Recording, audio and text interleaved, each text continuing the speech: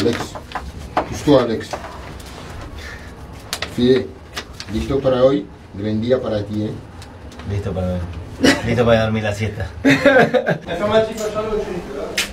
Le dernier match de Di Maria, Paris Saint-Germain. 7 ans.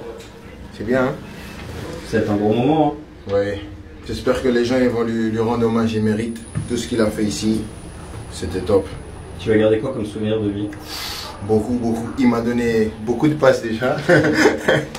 Mais franchement, tout ce qu'il a laissé ici, moi j'ai eu la chance de le voir jouer avant.